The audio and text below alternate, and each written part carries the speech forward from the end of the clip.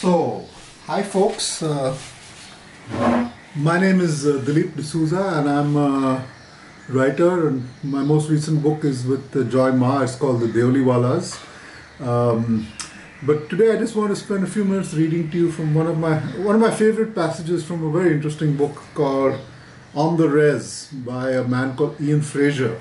Quickly, I want to tell you that rez refers to reservation. So this is a book about Indian reservations, American Indian reservations in the US, and particularly the uh, Oglala Sioux reservation, um, Oglala Sioux people uh, who are on a reservation called the Pine Ridge Indian Reservation, and it's about his long-time friendship with one of these people, a guy called Lee War Lance.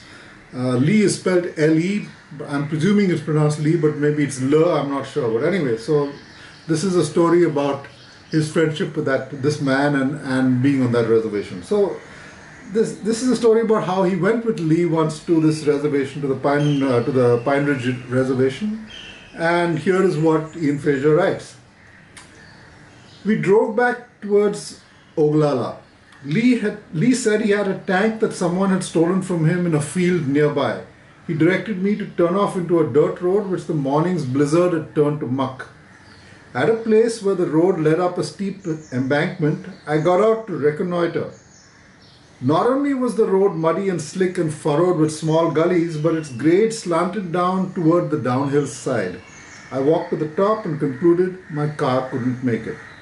As I turned to go back, several dogs at a house beside the hill saw me and set out for me at a run, barking and growling with their teeth bared. I walked quickly but did not run, fearing to enrage them further. I calculated that our paths would converge just about at the car. I was a few feet from it and they were a few yards from me when Lee heard the racket, stuck his head from the car door and growled a word at them in Sioux. His growl was throaty and loud like that of a dog much bigger than they. The dog stopped so fast they left skid marks in the mud and then ran yelping back home. The word Lee had said to them sounded familiar. I asked him what it was. He said, I said to them, Wahampi! It means soup. And then I remembered it was the word that he'd used for the soup that we ate in his apartment in New York. He went on, Dogs on the reservation know the word Wahampi because they know they might end up in some soup themselves. Eat a dog once in a while, it teaches the other dogs a healthy respect. So that's what I want to read to you and have fun with all your reading, whether in times of corona or any other time. Bye.